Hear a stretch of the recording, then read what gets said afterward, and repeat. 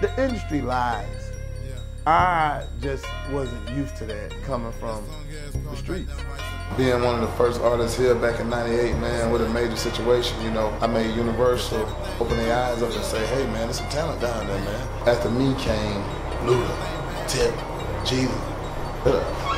The list goes on and on. I'm supposed to rap for a talent show, man, but one of my homeboys that got locked up that day, man, it was just it just fucked the day up. Instead of rapping, I just quoted Vica Versa the poem. Boy, they booed the goddamn shit out of me in that motherfucker. What? Boo!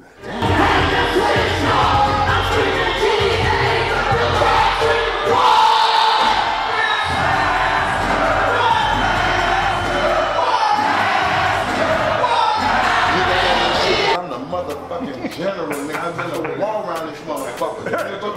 Talk to a nigga in this city. Tell us up, Cruz. Tell him. Every nigga in this city know I don't show no Well, that nigga put Finn Mac be hard. You did what I'm saying? You put man, you put Finn Mac be hard. It is what it is, you know what I mean? Whatever happened, happened. It was more so about, fuck you, I got to do me. And how it is still the Cause same I'm shit prime now. right. I'm always in my prime. Prime time. PT. Motherfucker, that was the PT. You thought the PT stood for part-time, motherfucker? It stands for prime time. Pastor Troy, bitch.